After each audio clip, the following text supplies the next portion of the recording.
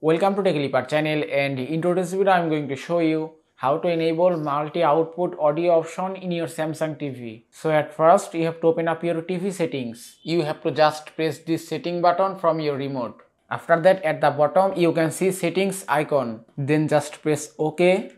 After that go to all settings option.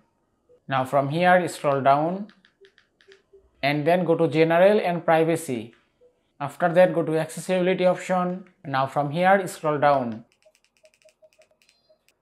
Now here you can see multi-output audio option. Now you may ask how does it work. Now if you turn on multi-output audio option in your TV, then it will enable both your TV speakers and Bluetooth devices at the same time. When this function is active, you can set the volume of your Bluetooth devices to be louder than that your TV speakers. And that's it. So just press OK to open these settings. From here press OK button and that's it. Now it's enabled successfully. Now you have to just connect any secondary Bluetooth speakers. Then it will work properly and that's it. Then just close the window and it's done. And that is how you can turn on multi-output audio option in your Samsung TV. I hope this video was helpful. If it was, please give it a thumbs up and don't forget to subscribe.